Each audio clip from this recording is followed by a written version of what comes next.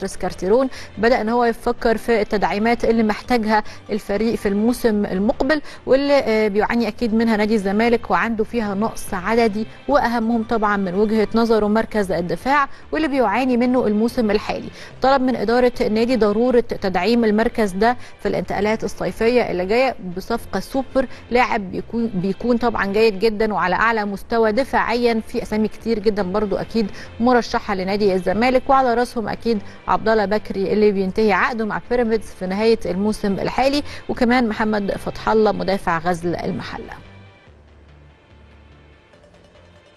لسه مكملين مع أخبار الزمالك واللي هيستأنف تدريباته النهارده استعدادا لمواجهة غزل المحلة يوم الاثنين اللي جاي إن شاء الله في الجولة 28 من الدوري ممتاز بعد ما نجح أو منح باتريس كارتيرون للعيبة. راحه من التدريبات امبارح بعد طبعا الفوز على مصر المقاصة يوم الاثنين اللي فات بهدف نظيف في الجولة 27 للدوري المصري الممتاز الجهاز الفني هيعمل بعض الاختيارات أو اختبارات البدنية للعيبة قبل تدريب النهارده عشان يقفوا على الحالة البدنية ويطبقوا كمان برنامج تأهيل بدني مناسب وفقا للحالة البدنية لكل لاعب. كمان بينوي باتريس كارتيرون إن هو يفرض قرارات جديدة وتحذيرات جديدة على اللعيبة تمهيدا لتطبيقها خلال الفترة اللي جاية عشان يضمنوا الحفاظ على الاستقرار الفني وتركيز اللعيبة. مع قرب طبعا انتهاء الموسم وتأهل نادي الزمالك للدور قبل النهائي في كأس مصر ويحافظوا كمان على الصدارة في الدوري الممتاز لحد دلوقتي. واللي أكيد